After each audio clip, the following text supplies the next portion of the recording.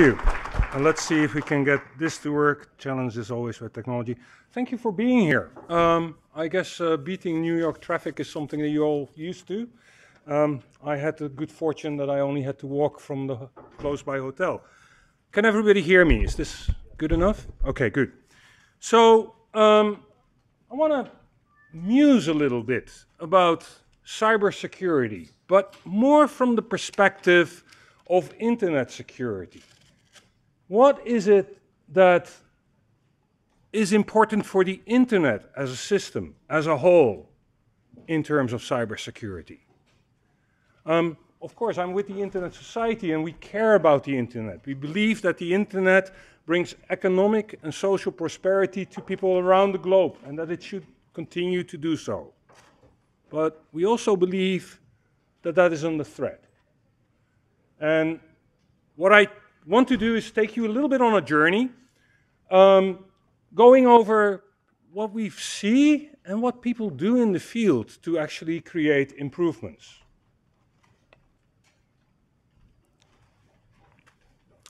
Starting out, um, we have just two weeks ago, during our 25th anniversary, the 25th anniversary of the Internet Society, um, created, uh, launched a report and it's the path to our digital future. That um, report is based on, and now I cannot read my slides here, and the numbers are sort of important.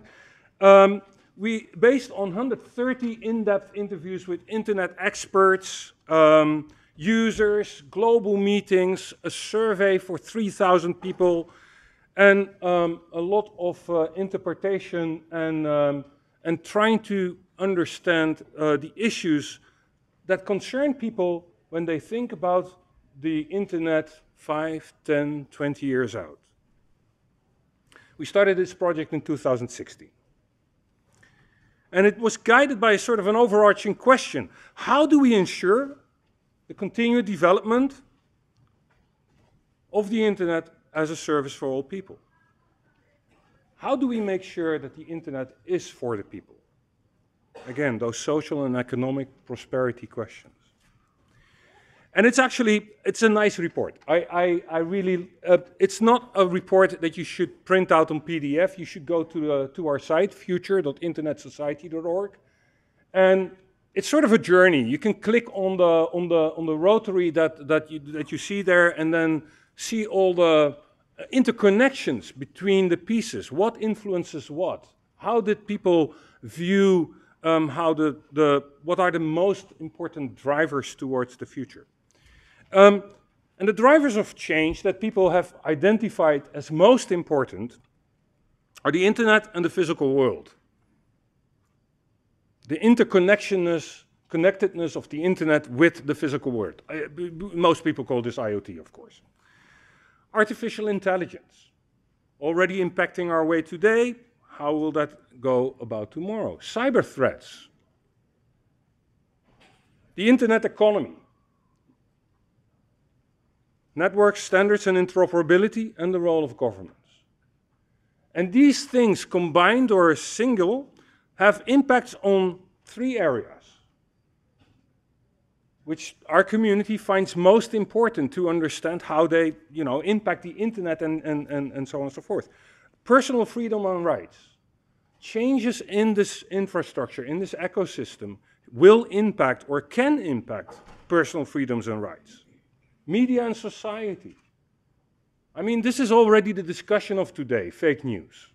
Let's face it, this is happening today, this is not even the future. And digital divides, in many ways, shapes and, and, and forms the combination of things, the combination of, say, Internet of Things and artificial intelligence leads to, you know, could result in things that we don't want. Surveillance societies. And the increased uh, uh, um, uh, security concerns that people have around the world around Internet of Things and so on and so forth might actually lead to um, uh, uh, uh, to, to states taking a, a stronger role and, and, and implementing measures that perhaps impact personal liberties.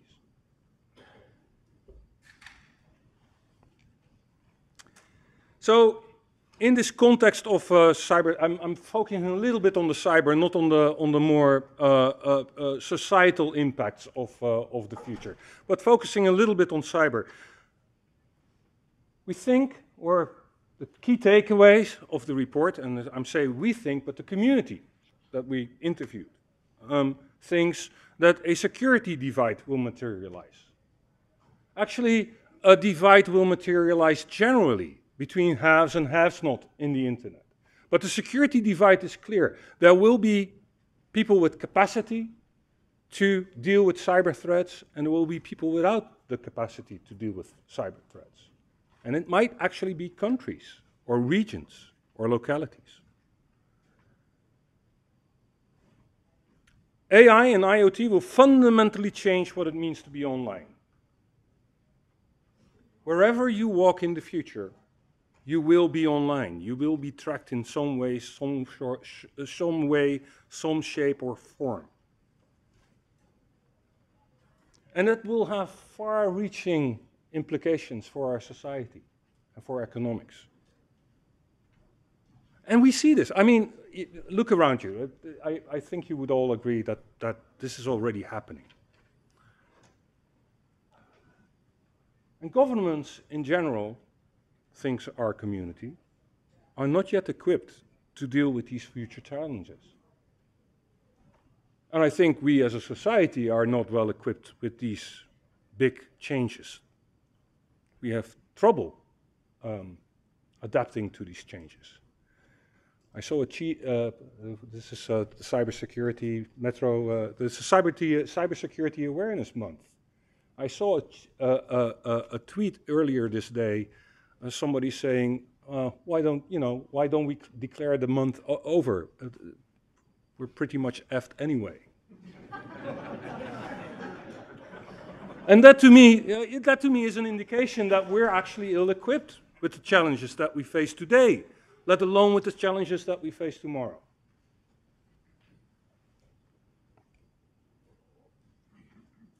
So in the terms of cybersecurity threats, these are the, the, the, main three things that people saw. Governments come under pressure to respond to cyber threats. And that means, that might mean that online freedoms and global connectivity will take a seat back to national security. Think the encryption debates. There is a need for new accountability, incentive, and liability uh, measures to cope with threats, to make sure that people take action, to make sure that everybody takes a responsible role towards a healthy environment.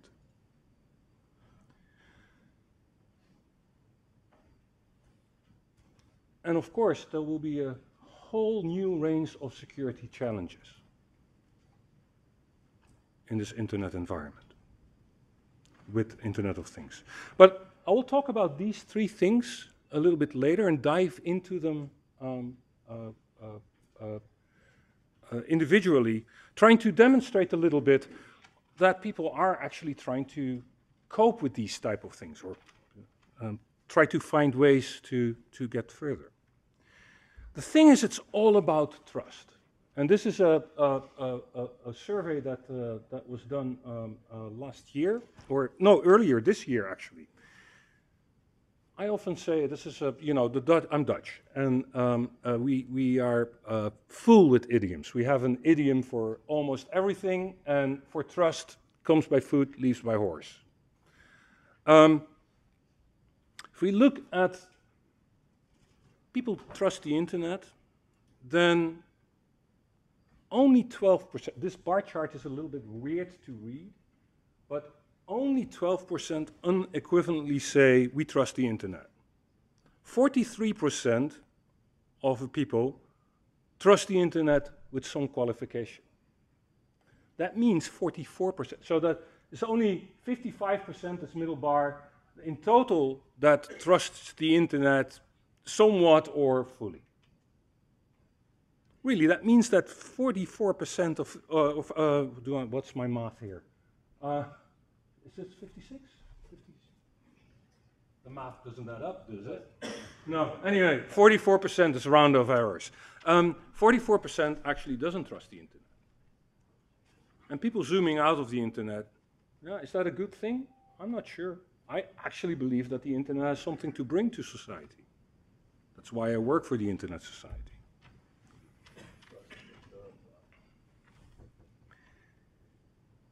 Now, obviously, if you ask people, you know, do you trust the internet, they have a different perspective on what the internet is, depending on who you ask. If you ask uh, people who are, you know, presumably, I think the people who are in this room will think of attack vectors and uh, infrastructure security and what have you, while if you ask people who are in the street, they will think about fake news, they will think about content, they will think about doing business online. So these perceptions are obviously uh, colored by people's view. But that number, I don't think is a good number. This is not how we, um, how we, how we go about in daily life. If, uh, if I ask you, do you trust walking outside? Do you trust walking in the society? I think I get a higher rating than 55% uh, in total. So there's something to do. And this is what I believe we collectively, as society, people who are interested in cybersecurity, who are interested in a, in a, in a, in a working internet, have to do together. We have to shape the internet. We have to shape tomorrow. At the Internet Society, and I don't have a slide for this, we've been talking about collaborative security. And collaborative security is the idea that solving security problems on the internet is not something you do in one place. There is no internet security tsar, there is no central control of the internet, it's a global system. Um, it is something that you do from your own responsibility with an outward perspective of how do I make the system better. That's a lot of kumbaya. But that is how it works. This is how the, the internet is built. It's built from bottom up. Individual Lego pieces. That's the technical infrastructure patched together to create new and innovative ideas. Permissionless innovation is one of the properties of the internet that makes the internet work that we would like to preserve. That's collaborative security. Now let's see. Let's go into some of these examples of, um, of, um, of, of, of risks that online freedoms and global connectivity will take a seat back to national security. This is becoming a worry. A worry, cyber security is becoming a worry of nation states. Partly because nation states or nation states affiliated actors are involved in attacks. Cyber warfare is a thing, is a thing on the agenda. And in the context of the first committee of the UN, so these are the people who care about international stability and security and disarmament and so on and so forth, there has been a series of meetings uh, by the UNGGE, the uh, group of governmental experts. Um, mostly international law specialists that think about uh, how does international law and human, human, humanitarian international law, so in bellum and interbellum um, uh, apply to uh, cyberspace. And they've come to a bunch of conclusions around critical infrastructure, cable infrastructure, around uh, uh, uh CERTs and so on and so forth. But one thing they didn't reach a conclusion on is the fabric of the internet itself. The fabric of the, the logical fabric, the thing that you cannot touch the things that provide us global connectivity. And it's clear in some, to, to some, some actors in this space that it is important to reach a good understanding that in wartime you should not be breaking the internet logical structure to, some to such an extent that the internet itself is broken. the negotiations in this space are immensely difficult. Because when we talk about internet, we have the people and cyber stability and cyber security, we have people that interpret this as critical infrastructure, lines, logic, logical infrastructure, and people who interpret this as state stability issues. How is it that your state interferes with my election? How is it that your state uh, puts propaganda into my people? And it's enormously difficult to find norms in this space. Um, and this is an example, the Global Commission on the Stability of Cyberspace is an example of, um, of norm entrepreneurship, I would say. People trying to find new paradigms to address the problems of today. This is established by the Dutch government. It's a committee of, uh, I don't even, I'm a, I'm a member of it and I don't even know how many people are on the committee, roughly 22 or something. But they, they come from uh, uh, civil society, technical society, state background, international negotiators from all the BRIC countries, global south, global north, civil society, multi-stakeholderism is what we call that. And what they're trying to figure out is to create a norm around the, the stability, creating stability around um, the, the, what, what people started to be calling in these atmospheres the public core of the internet. Um, it's on its way. Um, and I'm going to read out the current sort of drafting text. Um, the Commission has not agreed on this text yet. But this is just to give you an idea of the, the, the, the that, that this is a thing, that this is going on, that, that states at this level are actually interested in creating new norms.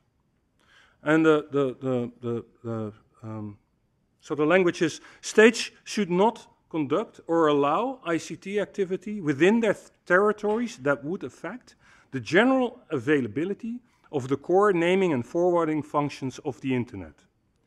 The Internet community must also strive towards a working definition of the public core of the Internet, one that goes beyond essential technical functions of the Internet to include institutions and infrastructures that are indispensable to services provided on it.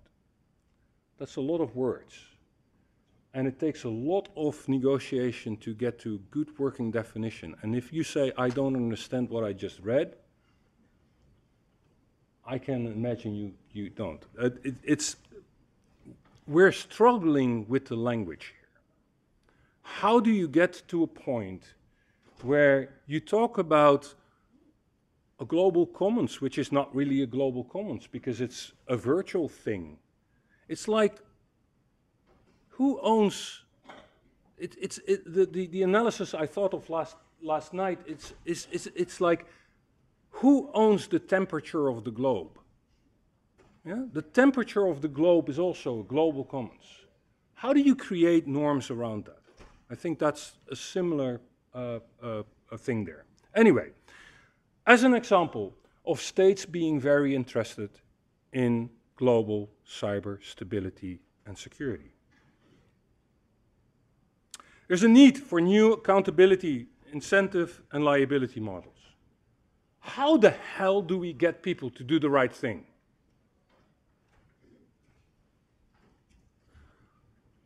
So, few questions. I want to see a raise of hands. Just wake up, people. It's, it's morning, you didn't have your coffee yet, or maybe you had not sufficient coffee.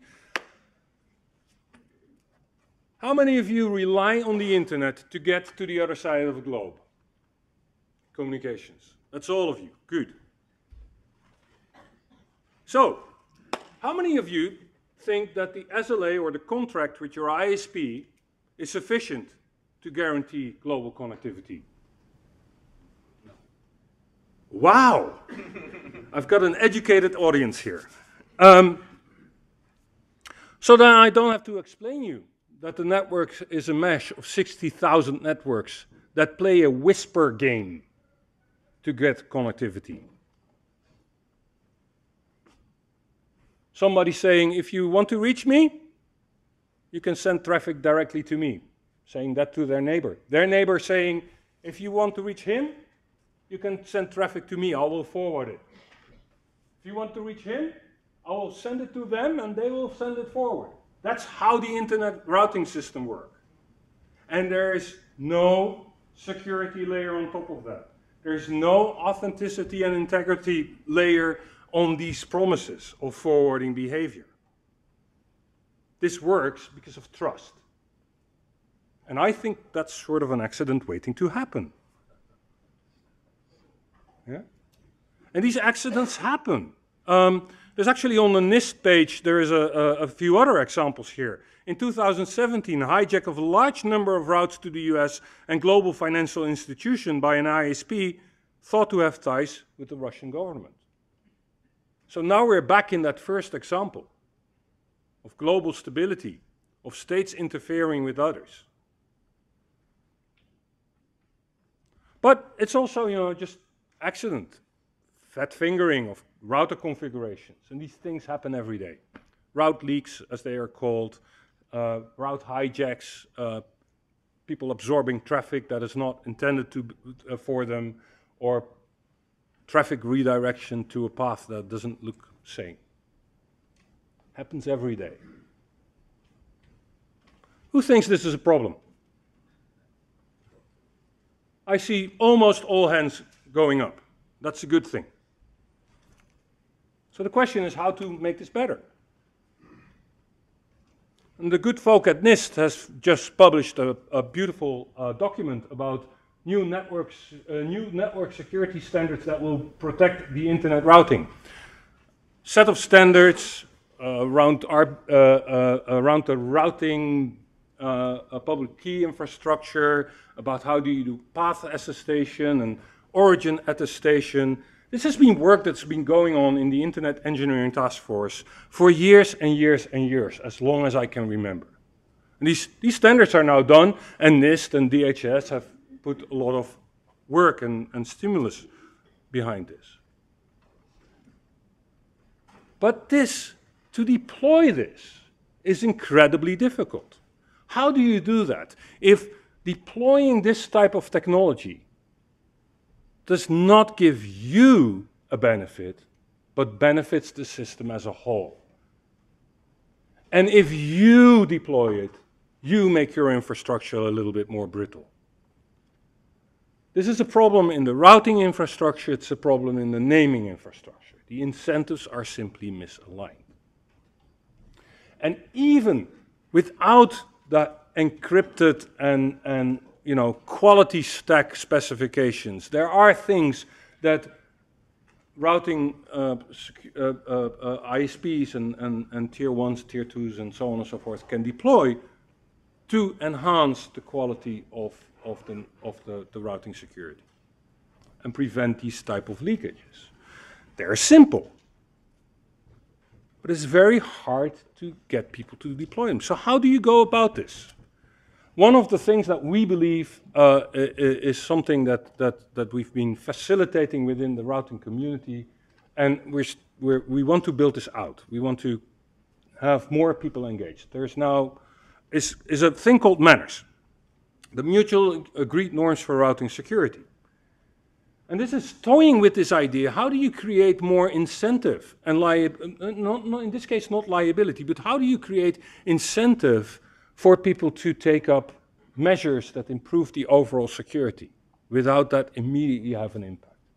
And we believe that if people signal that they take the actions necessary to increase the routing security, they actually signal that they have a better security posture.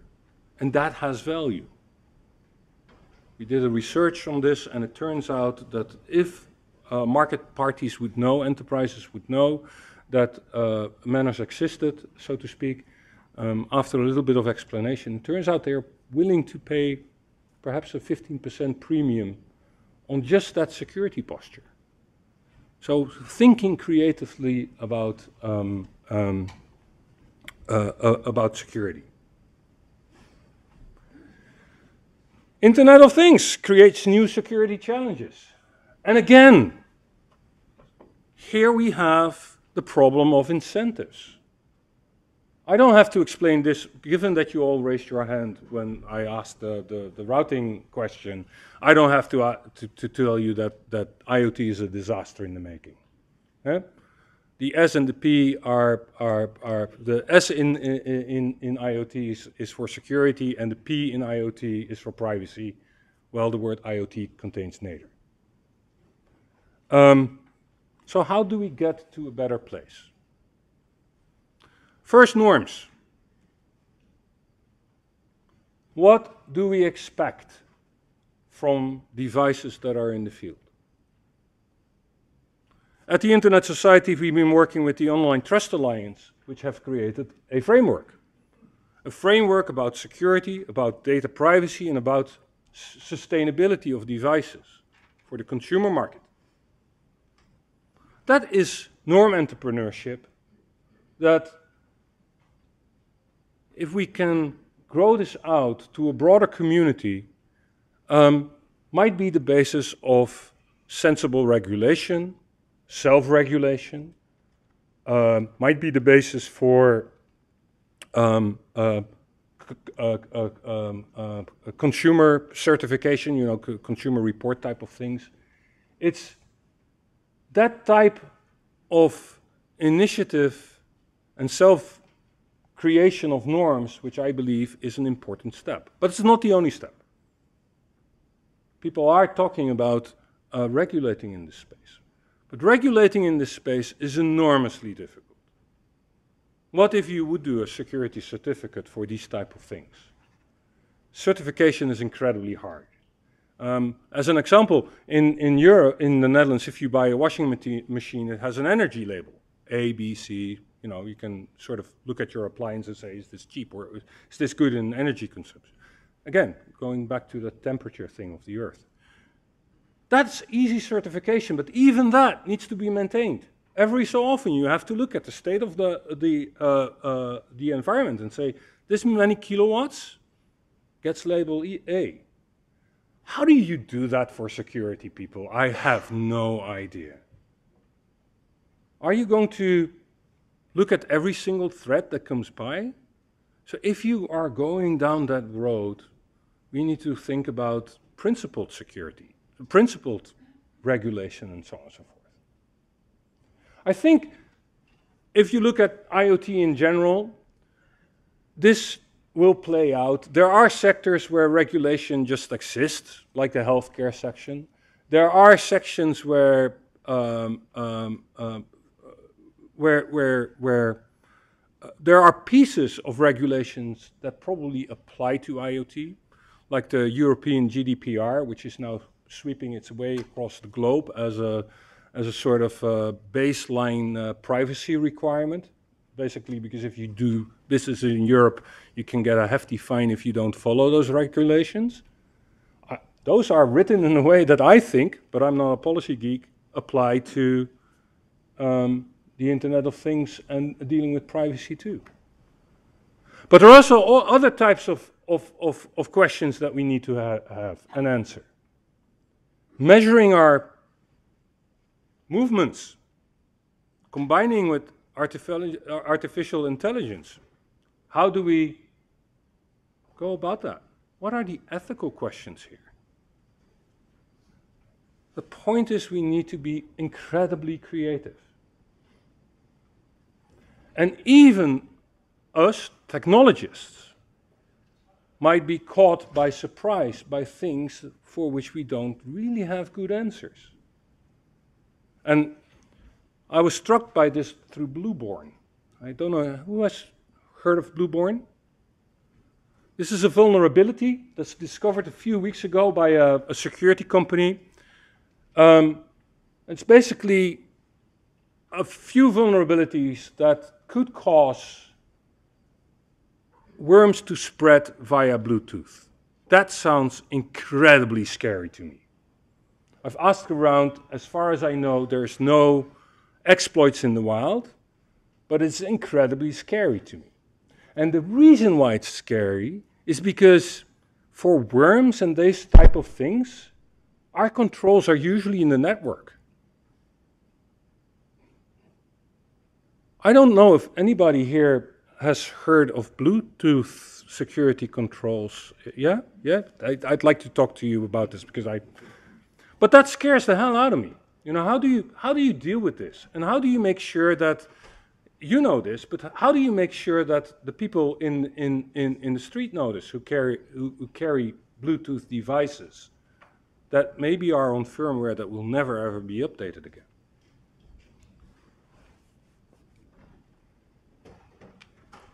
We close our um, uh, uh, uh, our our um, our futures report with a number of recommendations.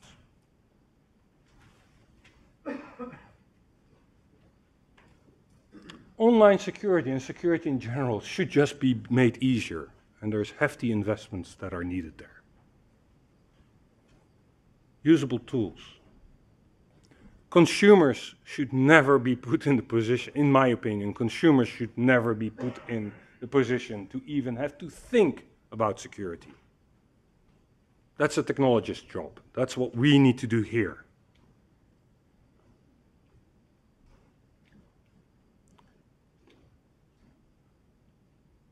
When you look at security issues, take an external approach. Look at your environment too. Don't only secure yourself, but think what your action or non-action, your passive, passiveness, is that a word? Yeah, passiveness, how that impacts the rest of the environment. It's nice to have a bunch of uh, incoming firewall rules, but if all your Internet of Things devices start botnetting the rest of the world, you're contributing to a global problem. I, security professionals must work collaboratively. Um, I mean, you all know this. Uh, uh, uh, uh exchanging vulnerability information and so on and forth is, is, in, in, um, is, is enormously important. Um, that always depends on trust. Uh, but there is working, you know, there are, there are sectors in which this works very well. Um, what is important is that I think the cost of security uh, failures should be imposed on the ones that fail, not on the victims. And there are a couple of recent data breaches where I think that was again demonstrated to be exactly the other way around. Another thing that popped up is that we have to make sure that security research stays possible. That's a responsibility in, uh, for lawmakers and regulators, but also for companies. Be open when hackers approach you, um, security researchers, I should say. I call them hackers anyway. Be open when they approach you. They have something to offer. Treat them with respect and don't send the lawyers on top of them. They don't need that. It's better for you, it's better for your environment. We, it's all of us. Here in this room, in the White House, wherever, we need to build a digital future that benefits humanity. And we need to make that happen today. There's urgency. Shape tomorrow. Thank you.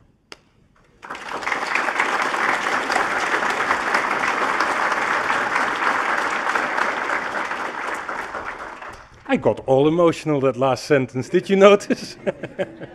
Must be the jet lag. Is there time for questions, perhaps, or looking at uh, time for questions if there are any? Yes, there is. Okay. Yes, there is. But then the question is, are there questions? In that case, ah. One needs to wait a few seconds for the first question. might one pop up in your head, perhaps? All right, someone be brave. We know there are questions out there. Any answers, perhaps? Perhaps that's yeah. I see. Answers are directions we need to take. But go. Um, uh, So, so, uh, my question is, is there's lots of associations or organizations all trying to do the same thing. Um, what do you see as a forum for those organizations to get on the same page, fill the gaps, and actually make progress as a community versus individual ships in the night that pass each other? Right. Um, repeating the questions, uh, there are a lot of associations, organizations trying to do their own thing. Um, are they? Um, how do we get them on the same place? How do we get them to the same place? And is there a platform in which they can can work and organize themselves? I want to be very careful with saying there is one organization that can do that, because at that moment you are creating that security tsar. What I more believe in is cross pollination across those organizations. So don't stay in your bubble, but visit that other group as well. Talk about your norms, talk about your ideas. And by doing so, I believe that, um, and again, there's this term norm entrepreneurship. By doing so, I think you will find common ground and uh, uh, a common understanding will bubble up. And I, it, I, we, we, I, I just showed a, a, framework, an IoT framework from, from OTA. That's the one that we happen to think is a, is a very good one to deal with, uh, with, with security and consumer devices. But if you go around in the market, somebody did that the other day, I believe there's over 40 IoT frameworks some for specific uh, verticals, some for specific technologies. I think that if you look across these things, there are commonalities. And if if you know, look, if we ask around, we all know what, what the answers are. The answers are indeed upgradability. The answers are data minimization. The answers are encryption. The answers are not throwing away what you don't need. The answers are we only have to do it. A question over there, and I'll repeat it.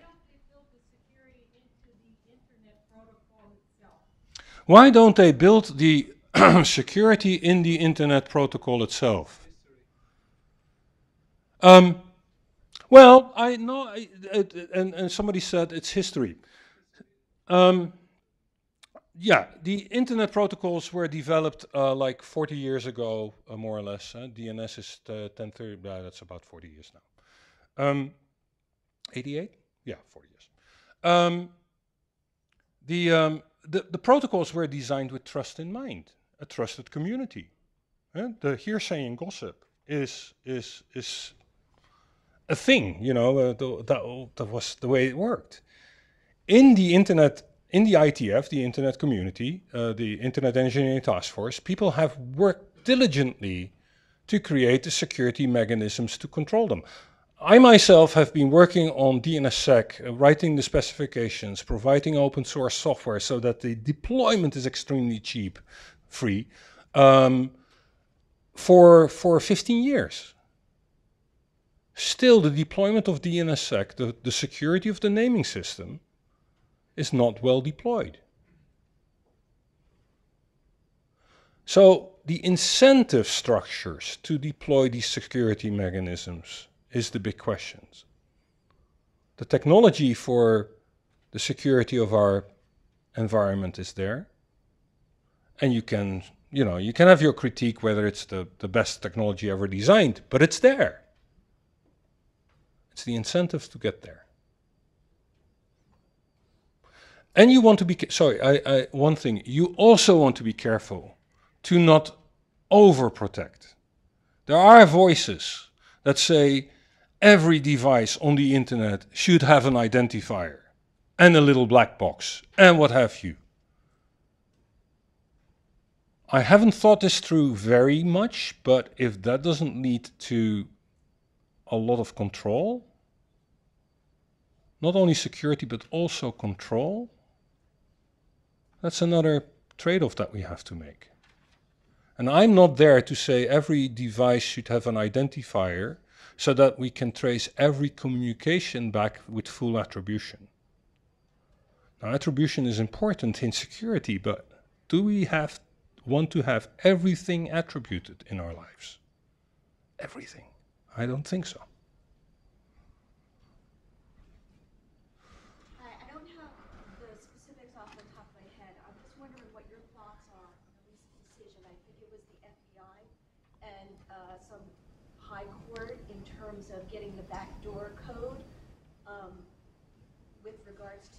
terrorist, uh, I think he was characterized as a terrorist.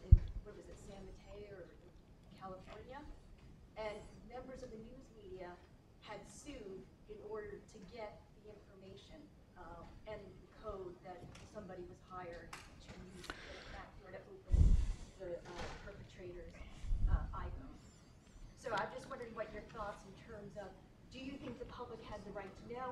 Or do you think security superseded that, which is what I believe the legal result was? Um, I'm going to be very careful because I don't know the details of this case, and I. Th- oh, sorry. The, the the question was uh, around um, uh, a recent court case here around backdoors of uh, uh, uh, a suspected terrorist, an, an iPhone, right? So I don't know the details of this uh, specific case. However, I do have a couple of opinions around around security and the fact that uh, whether backdoors will ever work or not. I think that if you create backdoors, you will create this big target for everybody to have. If the backdoor is there, everybody wants to have it. And in fact, I think that is what you saw in this. If, if, you, if I understand correctly, that is what what you described in this case. Um, so I'm I'm a, a, a backdoors and so on and so forth. I think that's an incredibly bad idea. Um, in fact, that is a bad idea. Um,